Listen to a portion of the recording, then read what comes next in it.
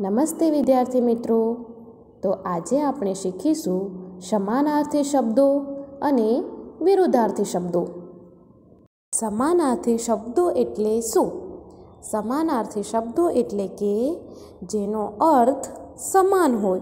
જે શબ્દોનો અર્થ એક જ જેવો એટલે કે સમાન હોય તેને આપણે સમાનાર્થી શબ્દો કહીએ છીએ.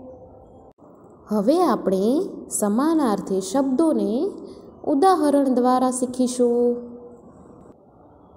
સૂરજ, તો એનો સમાન અર્થ થાય સૂર્ય. આભ તો આકાશ. માતા, તો જનેતા. ખુશી, તો આનંદ. વૃક્ષ, તો ઝાડ. ગાય ગૌ. વરસાદ, મેઘ. બીમાર તો માંદું. હવે આપણે શીખીશું વિરુદ્ધાર્થી શબ્દો. વિરુદ્ધાર્થી શબ્દો એટલે કે જે શબ્દોનો અર્થ એકબીજાથી વિરુદ્ધ હોય, તે શબ્દોને વિરુદ્ધાર્થી શબ્દો કહીએ છીએ.